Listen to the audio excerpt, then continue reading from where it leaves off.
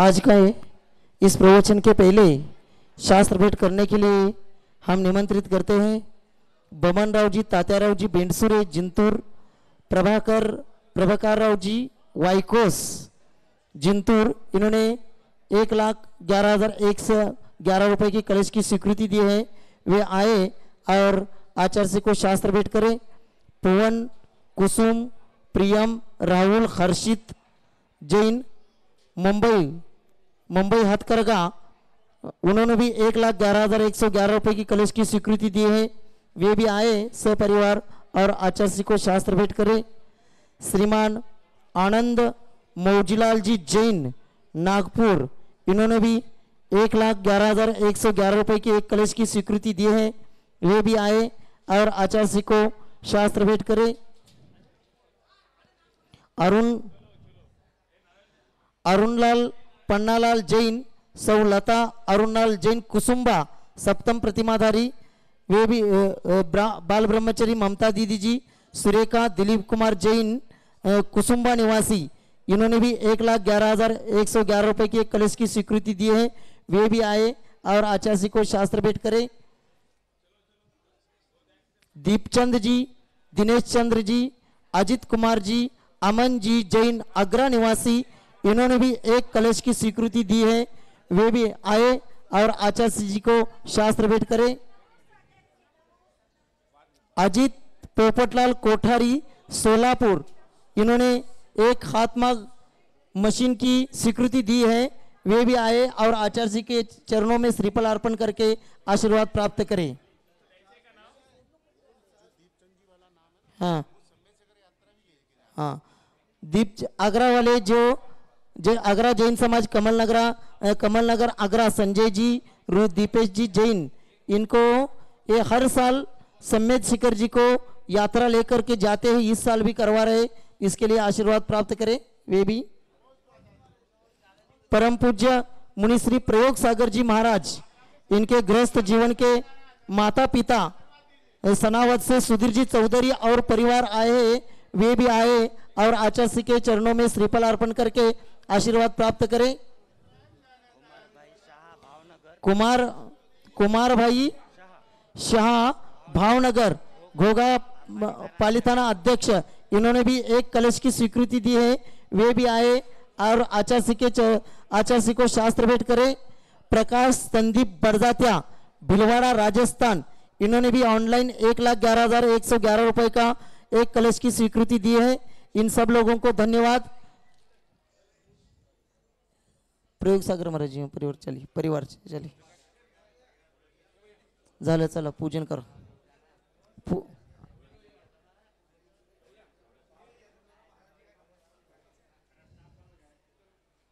पूजन प्रारंभ करते हैं.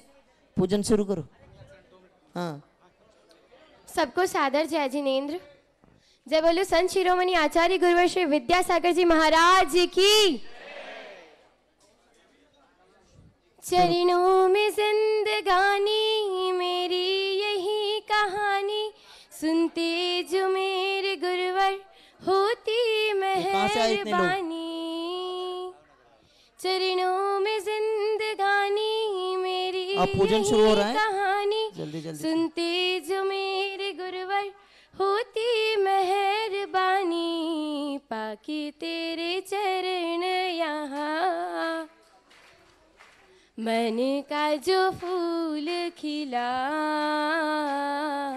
याद रखोगे हर दम। गुरु का जो दर्श मिला मिले गुरु ऐसे कहाँ।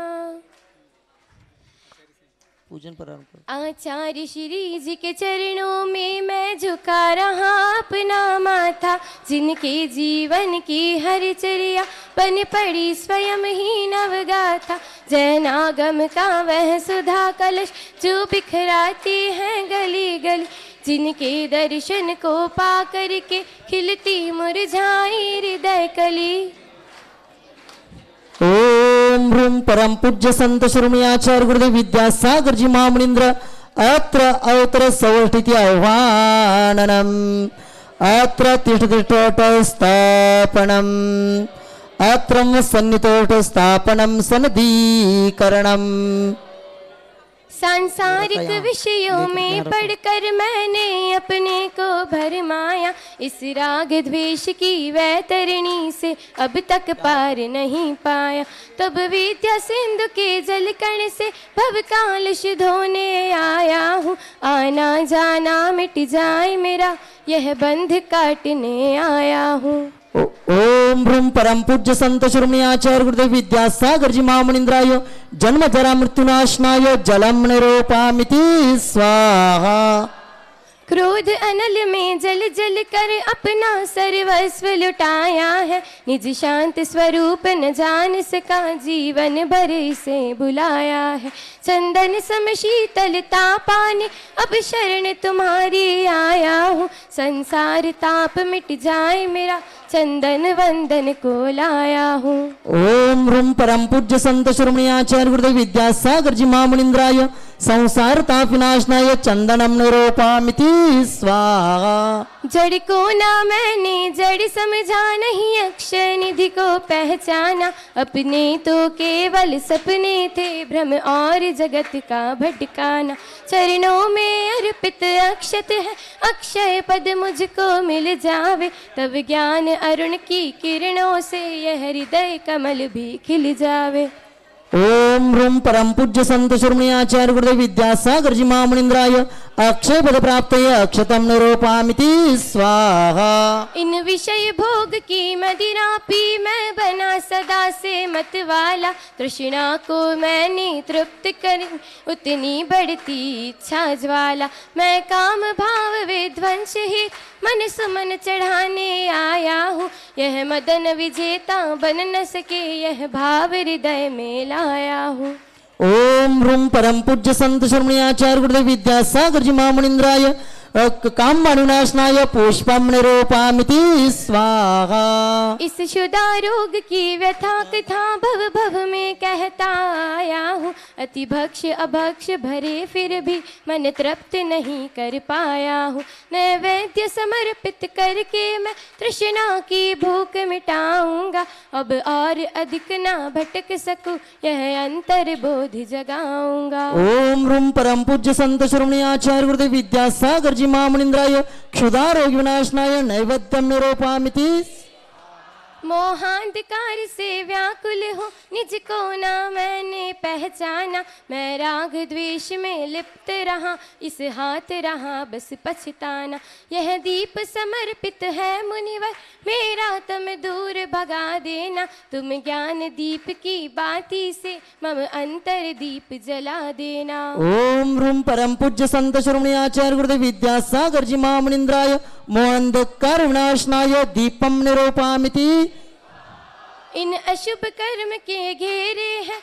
मैंने अब यह माना था, बस पाप कर्म तज पूजक कर्म को चाह रहा अपनाना था। शुभ अशुभ कर्म सब रिपुदल है, मैं इन्हें जलाने आया हूँ, इसलिए तब चरणों में अब धूप चढ़ाने आया हूँ। ओम रूम परम पूज्य संत शिरोमणि आचार्य गुरुदेव विद्यासागर जी महामुनिंद्राय अष्टकर्म दानाय धूपम निरूपामिति भोगों को इतना भोगा कि खुद को ही भोग बना डाला। साध्य और साधक का अंतर मैंने आज मिटा डाला। मैं चिंतानंद, में लीन रहूँ, पूजा का यह फल पाना है। पाना था जिसके द्वार वह मिल बैठा, मुझे ठिकाना है। ओम रूम परम पूज्य संत शिरोमणि आचार्य गुरुदेव विद्यासागर जी महामुनिंद्राय महामोक्ष फल प्राप्त फलम निरूपामिति जग के वैभव को पाकर मैं निश दिन कैसे अलमस्त रहा। चारों गतियों को ठोकर की खाने में भी अब व्यस्त रहा। मैं रहूँ स्वतंत्र ज्ञाता द्वाता, मेरा पर ये नाता है। क्या कैसे अनर्ग पद पा जाऊँ, यह अरुण भावना भाता है। ओम रूम परम पूज्य संत शिरोमणि आचार्य गुरुदेव विद्यासागर जी महामुनिंद्राय अनर्घ्य प्राप्त अर्घ्यम निरूपामिति स्वाहा। बाहों की निर्मल सरिता में अवगाहन करने आया हूँ। मेरा सारा दुख दर्द हरो यह अर्घ भेटने लाया हूँ। हे तप मूर्ति हे आराधक हे योगीश्वर हे महासन है करुण कामना देख सके, युग युग तक आगामी बसंत। ओम ह्रूम परम पूज्य संत श्रमणी आचार्य गुरुदेव विद्यासागर जी महामनिंद्राय, अनर्घ्य प्राप्त जयमाला पूर्णार्घ्यम निरूपामितीस यहाँ संजय जी मैक्स और पंकज जी अग्रवाल। पंकज जी अग्रवाल आए, वे भी आए, और आचार्य के चरणों में श्रीफल अर्पण करके आशीर्वाद प्राप्त करें। आचार्य भगवान के चरणों में त्रिवार नमस्तु करते हुए निवेदन करते आज की इस पावन बेला पर हम सब लोगों को उद्बोधित करें, नमस्तु भगवान, नमस्तु नमस्तु।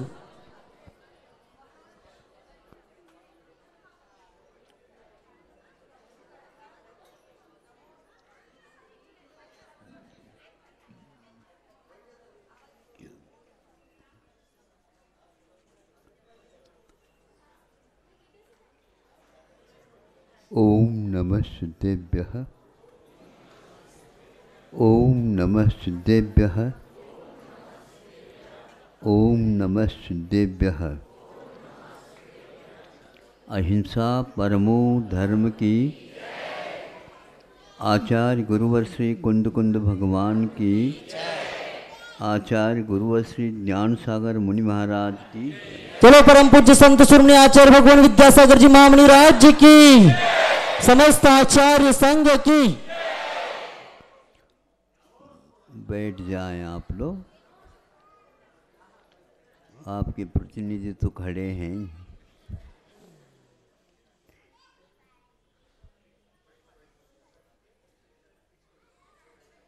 आप लोगों ने अनुभव किया होगा। आज तो यह अनुभव थोड़ा सा महँगा हो गया है कि कूप में से पानी निकालते हैं। सर्वप्रथम उस कुएँ में खाली घड़े को भेजते हैं और भेजते समय हमें ज़्यादा सावधानी की आवश्यकता नहीं है और उसको छोड़ देते हैं। इतना ध्यान रखते हैं कि वह वैसे तो डूबेगा नहीं क्योंकि वो खाली है। घड़ा, जब वह पानी में चला गया, उस समय उसके रस्सी को ऊपर थोड़े से खींच लेते हैं तो उसके मुख में से पानी भीतर पहुँचना प्रारंभ करता अब इसमें ध्यान देने की यह आवश्यकता है जब वह घड़ा पूर्ण रूप से पानी से भर जाता है तो थोड़े से नीचे और चला जाता है। फिर इसके उपरांत आप उसको ऊपर की ओर खींचते हैं। खींचते समय आपको कोई परिश्रम नहीं होता। क्योंकि वह थोड़े से भीतर भी पहुँचा है। जो ही वह पानी की बाहर आ जाता है, त्यों ही आप लोगों को श्रम का अनुभव होने लग जाएगा। अब पूछना ये है, जब घड़ा पूर्ण भर गया है और पानी में था, उसमें श्रम क्यों नहीं लगा? और बाद में क्यों? कभी आप लोगों ने सोचा इसके बारे में? नहीं। वह भीतर जब रहता है, घड़ा पानी के भीतर, और उसको खींचते हैं तो चूँकि वहाँ पर हवा का दबाव इतना नहीं रहता, जितना कि बाहर ऊपर आने के उपरांत केवल इसमें हवा हवा ही है। आप लोग बैठे हैं अपनी शक्ति से नहीं, किंतु चारों तरफ़ से हवा आपको, क्या कहते हैं, विज्ञान के अनुसार गुरुत्वाकर्षण जिसको बोलते तो यह है, निश्चित है कि वह भारदार होते हुए भी, भरा हुआ होते हुए भी, उसमें हवा की कमी होने के कारण आप बहुत जल्दी उसको ऊपर उठाते हैं। किंतु केवल पानी छूट गया और केवल हवा में वह घड़ा आ गया तो उस समय आपको पसीना आएगा। आप अपने खड़े होकर के उसको खींच नहीं सकते, किंतु कैसे करते हैं? पीछे की ओर अपने आप को संभालते रहते हैं, ताकि वह नीचे से ऊपर तक घड़ा आ जाए। इसमें आप लोगों को बहुत शक्ति लगानी पड़ती है, क्योंकि केवल जहाँ पर हवा रहती है, वहाँ पर उस घड़े को कैसा खींचा जाता?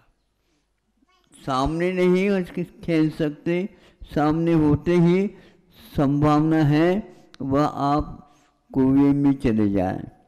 इसलिए आप ऐसे उसको खींचते हैं जिसके द्वारा अपना भी संयम बना रहे। अब हवा के कारण आपका भार है, ये सिद्ध होता। आप जब तैरेंगे, उस समय में भी आपको कुछ भी नहीं लगता। किंतु भीतर से बाहर आते ही आपको ज़ोर लगाना पड़ता है। संसार के बहुत सारी वस्तुएँ जिसके आकर्षण से आप बहुत परेशान हो रहे हैं।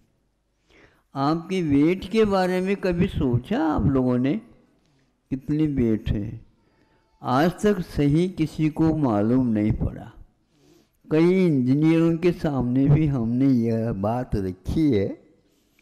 संभव है वो इसके बारे में सोच रहे होंगे। यहाँ से जो उपग्रह छोड़ा गया है तो वह अपने कक्ष के जब बाहर हो जाता है तो वहाँ पर उसकी वेट समाप्त हो जाती। जो पहले वेट था, वो वहाँ पर नहीं रहते। क्योंकि वहाँ पर जब उपग्रह के साथ चले गए थे लोग, उसमें तीन चार थे वहाँ पर जाने के उपरांत प्रयोग किया तो जो जहाँ पर रखते हैं वो ज़मीन पर नहीं आती, किंतु अधर में ही रह जाती क्यों? वहाँ हवा का दबाव नहीं, कम है। इसलिए तो इसका अर्थ यह है कि मान लो आपकी वेट भार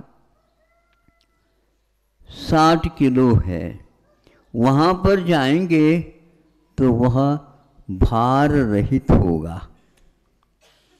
भार रहित होगा तो रोग भी होना चाहिए। जैसे और कोई भयानक रोग होते हैं, आपके शरीर का वेट भार जो है कम हो जाता है। कभी कभी बढ़ भी जाता है। कुछ लोग घटाना चाहते हैं तो कुछ लोग बढ़ाना चाहते हैं। जब परेशानी होने लग जाती है तो यह वेट कहाँ चला गया? वह रोगी हो गया? नहीं। फिर भी वो भोजन तो पूर्ण कर रहे हैं। भूख भी लग रही है, किंतु उनका वेट कहाँ चला गया? आप दूसरे के माध्यम से वेट को पहचान रहे हो। यदि यहाँ हवा नहीं रहेगी विरलता आ जाएगी तो आप गिरोगे भी नहीं। धीरे धीरे जैसे जैसे ऊपर ऊपर चले जाते हैं, कक्ष के बाहर जाने के उपरांत, वहाँ पर अपने आप ही उपग्रह भी घूमने लग जाते हैं उनके ईंधन के माध्यम से। नीचे रहते हैं, तब तक जो है उसको बहुत मेहनत के साथ ऊपर पहुंचाना पड़ता है। इसमें ज़्यादा खर्च होता ऐसा हमने सुना। आत्मा का भी स्वभाव नीचे रहने का नहीं है। हल्का है मुझ, नहीं समझे, किंतु शरीर के कारण ये गुरुत्वाकर्षण चारों तरफ़ से आपको खींच रहा है। वह गुरुत्वाकर्षण अलग है और गुरुओं का आकर्षण अलग है।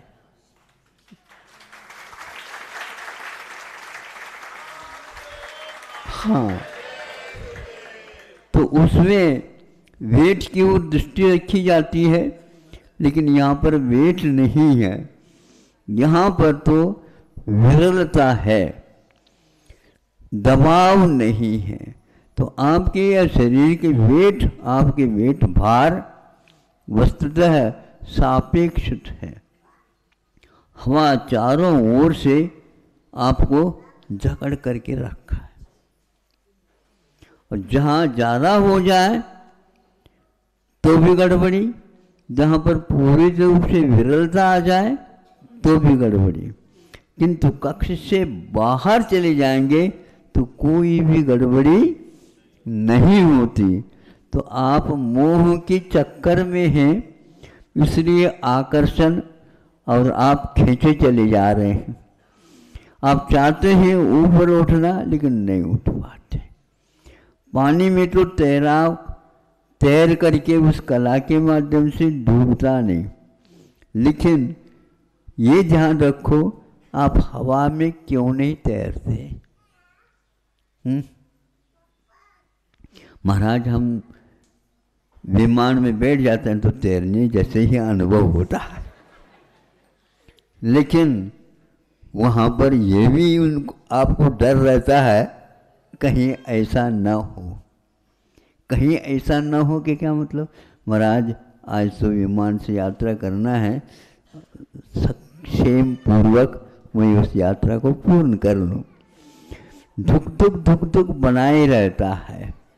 वो क्यों है? इसलिए है, वो कृत्रिम विमान है, स्वाभाविक विमान नहीं।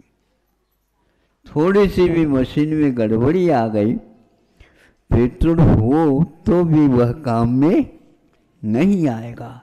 एकदम वह आपको नीचे की ओर खींचेगा। आप ऊपर की ओर क्यों नहीं खींचते? अपने आप को बोलो। नीचे की ओर ही क्यों आते? तो वो कहते हैं उत्पतनम पतनम पे वर्तते ऊपर भी उठ जाता है और नीचे भी आ सकता इसको पतन बोलते हैं।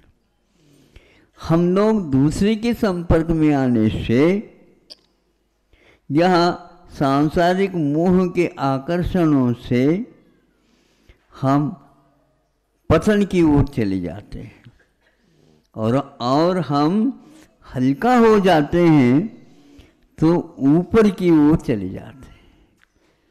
तो संयोगा भावात उत्पतनम संयोग का जब अभाव हो जाता है तो हमारा ऊर्धगमन अपने आप ही हो जाता है। ये कई बार हमने कहा है, हम ऊपर उठना चाहते हैं, लेकिन भार को लेकर के उठना चाहते तो भार को यदि उठना चाहते हैं, भार सहित तो ये ध्यान रखना आप ऊपर नहीं जा सकते, किंतु नीचे की ओर ही जाएँगे। आप कहाँ जाना चाहते हैं बताओ? ऊपर। सब जगह वाहनों के लिए रास्ता बने हुए हैं, लेकिन विमान का कोई रास्ता नहीं होता। वह कहीं भी जा सकता है। इतना अवश्य कि उसके भी कुछ बंधन हैं। इस रास्ते के निर्माण करने के लिए उस विमान को तो तैयार किया, लेकिन रास्ता का विमान नहीं कर सकते। वर्षा वगैरह होने लग जाती है तो विमान को नीचे उतरने की आवश्यकता पड़ती है। कभी कभी वह नहीं उतर पाते हैं तो गिर जाते हैं। ऐसा क्यों होता है? क्योंकि हमने दूसरे वस्तुओं के साथ उसको बांधने का प्रयास किया है। आज तक इसके बारे में आप नहीं सोच पाए होंगे, इसको सोचना पहले प्रारंभ कर दो। जब चक्कर आने लग जाता है तो गिरता है। नहीं समझे? जब चक्कर आने लग जाता है तो गिरता है। किसका अभाव है वहाँ पर? पानी भी है, हवा भी है, सब कुछ है, शरीर में शक्ति भी है लेकिन चक्कर जब आता है, उस समय गिरने लग जाता है। तो ये कौन सा आकर्षण है जिसके कारण आपको असंतुलित कर देता है? हम सोचे, जितनी भी वस्तुएँ हैं, वो वस्तु हमारे लिए हानिकारक भी है और लाभप्रद भी है। ये दोनों के पीछे एक ही मात्र है, हमारा आकर्षण। ये आकर्षण और उत्कर्षण, अपकर्षण आदि आदि हैं, इसमें आप लोग उलझे रहते हैं। जब आपके पास पैसा ज़्यादा होता है तो क्या करते हैं आप लोग? बोलो। हाँ। दान भी करते हैं, लेकिन आदान की मात्रा ज़्यादा रहती है और दान की मात्रा ऐसा क्यों होता है? मतलब हम उसको कम तो करना चाहते हैं कम कम कम कब कम कम, कम करते हैं तो जब वह भर जाता है तो कम करना चाहते हैं। एकदम भरोगे तो गड़बड़ है। लैंप में या दीपक में पूरा पानी, तेल भर दो, क्या होगा? हैं? वह किसी प्रकार से जलेगा नहीं, बुझ जाएगा। क्योंकि उसमें हमने तेल तो डाला, लेकिन अनुपात से नहीं डाला। अनुपात से बाहर हो गया तो वह हवा के अभाव में निश्चित रूप से बुझ जाएगा। और थोड़े से कम रखेंगे तो वह प्रकाशित हो जाएगा। प्रकाशित करना चाहते हैं तो उस दीपक में तेल को नाप तोल करके ही डालना पड़ेगा। अन्यथा हम उसके प्रकाश को कभी भी प्राप्त नहीं कर पाते। इसलिए आप लोग हर वस्तु के बारे में सोचो जो आपके लिए लाभप्रद है वही हानिकारक भी हो जाता है। लैंप यदि मान लो थोड़ा सा फवकने लग जाए, फिर देखो ऊपर भी यदि धोती रखी तो धोती को भी वह जलाना प्रारंभ कर देगी। इसलिए सावधानी रखो। पेट्रोल एक ऐसी वस्तु है जिसको यदि पास है पेट्रोल और यहाँ पर थोड़ी सी मान लो मेचू से दीपक कर दिया तो वहाँ तक वो पकड़ भी सकता है। आपके पास ऐसी भाव है कि वह पकड़ने को चला जाता है। वस्तु आपके ओर आती है, क्या हम वस्तु की ओर जाते हैं? थोड़े से बता दो जल्दी। है, हम जाते हैं। किसने कहा कि जाओ? हाँ। ये क्या है? वो खींचता है महाराज। तो खींचता है तो सबको खींचना चाहिए। खींचता है तो सबको खींचना चाहिए। लेकिन सबको तो वो खींचता नहीं। जो खींचना चाहता है, उसको वो खींचता है। आप खिंच जाते हैं आकर्षित हो जाते हैं। इनको आप ऐसा करो अपने संतान के ऊपर भी इस शिक्षा को अवश्य दे देना। यदि यह संस्कार उसके ऊपर पड़ जाए तो कहेगा, पिताजी, इतना ही पर्याप्त है। पिताजी दो तीन शाखा और बढ़ाना चाहते हैं। फैक्ट्री है तो दो खड़े करना चाहते हैं। और दुकान है तो और दुकान और अन्यत्र, बेटा, तुम बॉम्बे चले जाओ। बेटा, तुम कलकत्ता चले जाओ। बेटा तुम दिल्ली चले जाओ। बेटा कहता है कि नहीं हम विदेश जाएँगे। वहाँ का और बड़ा चक्कर है। वहाँ पर एक केला सौ रुपये में आटा बताते तुम्हारी सारी सारी कमाई खर्चा में ही चली जाएगी।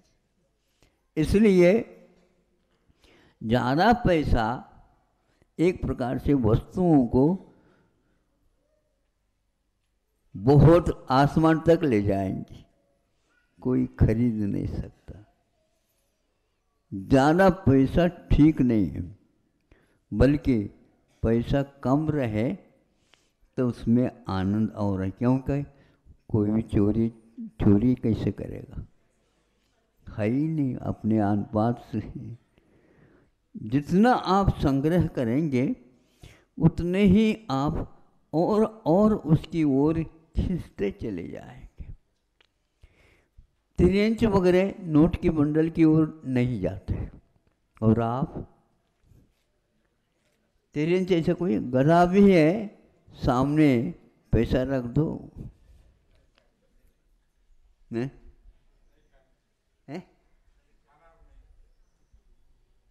आप क्यों आकृष्ट हो जाते? हैं इसमें धन है और इसके द्वारा सब कुछ खरीदा जा सकता है। ध्यान रखो, एक वह भी व्यक्ति है, आपको ये खरीद लेगा। अब क्या करोगे? ये दास प्रवृत्ति, क्रय विक्रय की प्रवृत्ति बहुत होशियारी से करना चाहिए। अर्थ के कारण ये ऐसा हो रहा है। अर्थ के लिए आप हैं, या आपके लिए अर्थ की आवश्यकता है? जीवन जीने के लिए ये सारी सामग्री है। ये सब विद्या, कलाएँ पूर्व काल में समझाए जाते थे सिखाए जाते थे।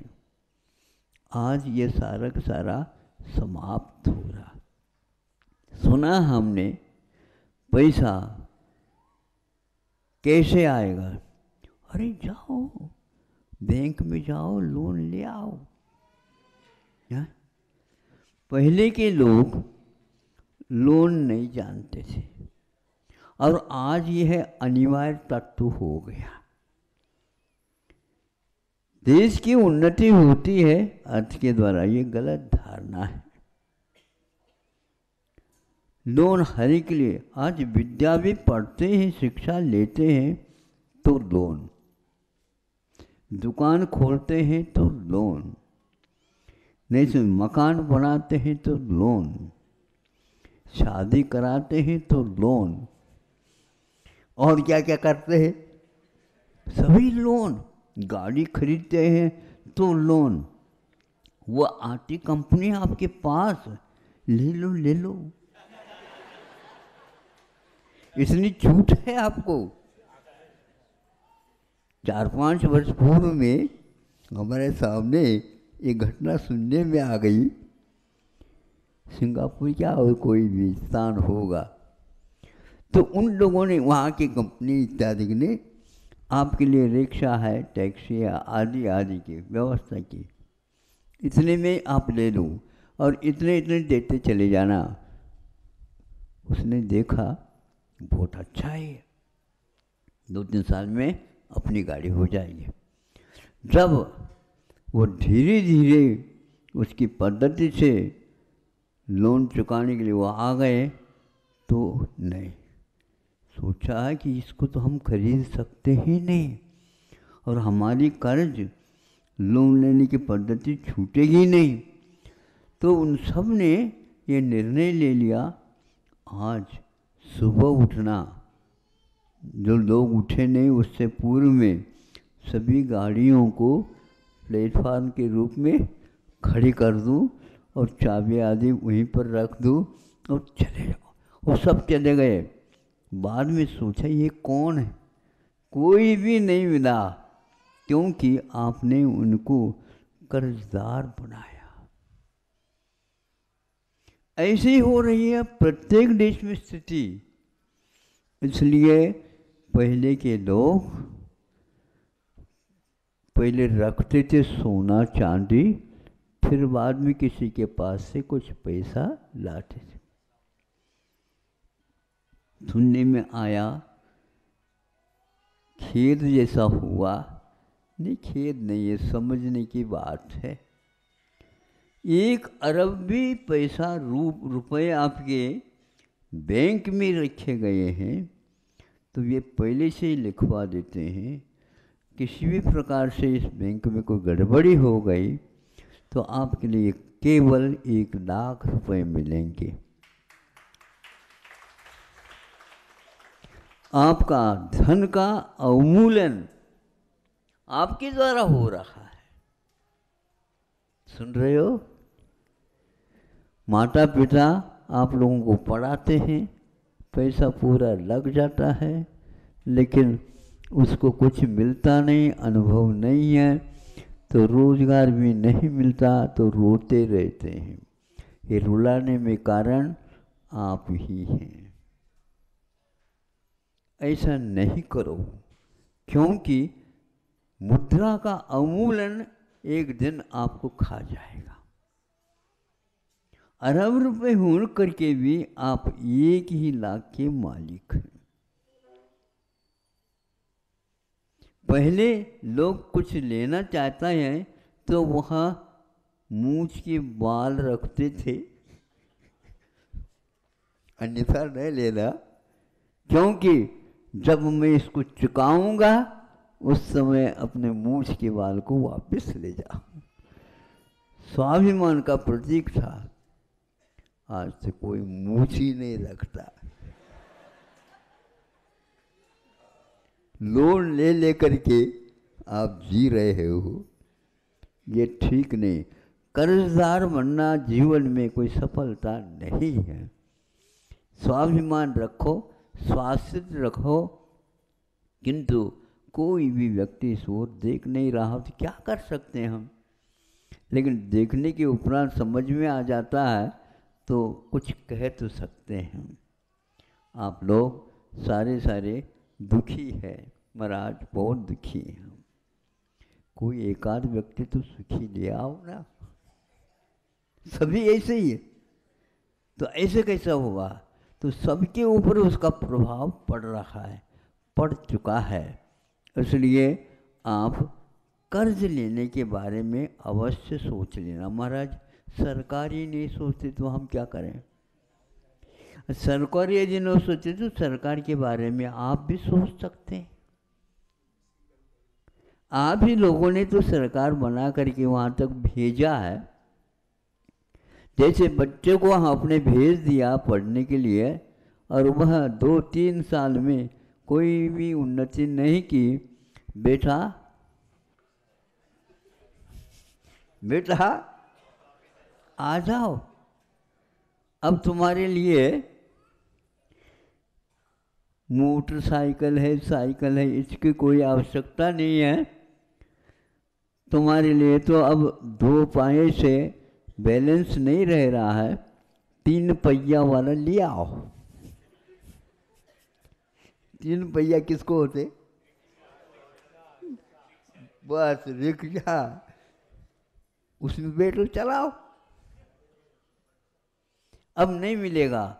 इसीलिए कहता हूँ, आप बच्चों को ऐसे संस्कारित करिए उनकी मुद्रा का अवमूल्यन न हो करके उसका विकास हो जाए।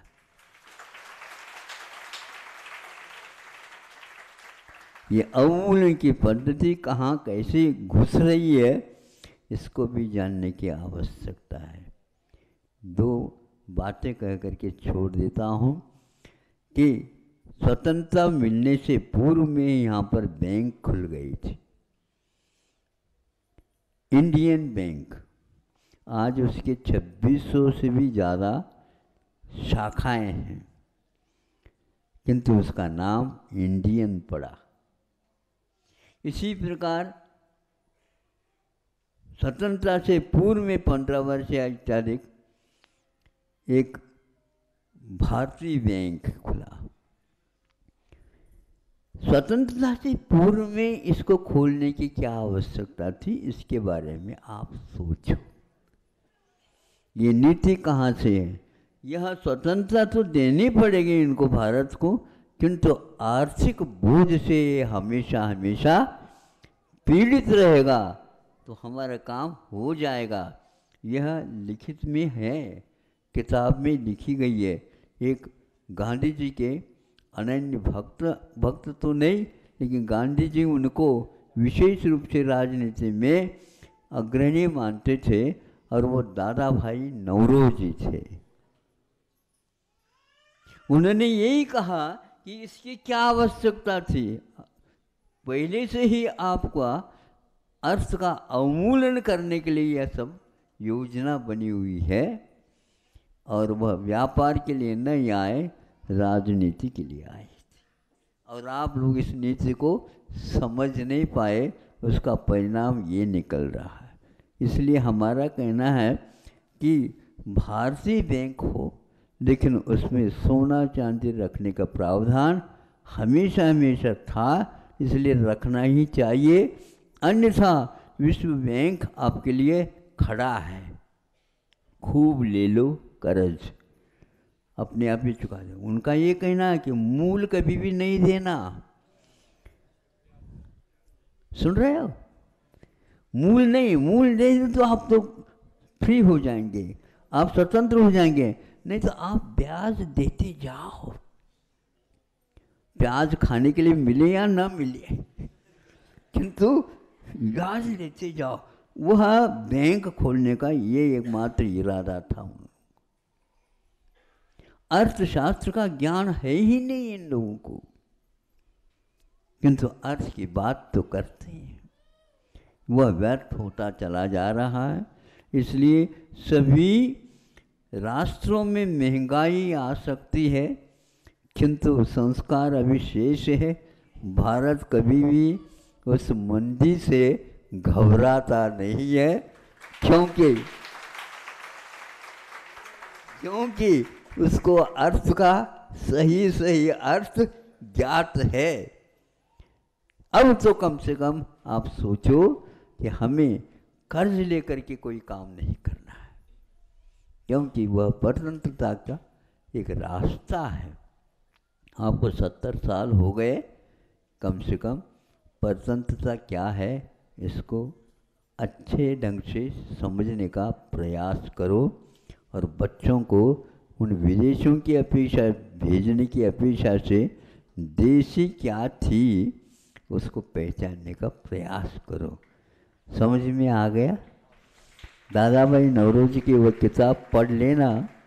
उन्होंने प्रश्न उठाया कि इसकी क्या आवश्यकता है बैंकों की व्यवस्था?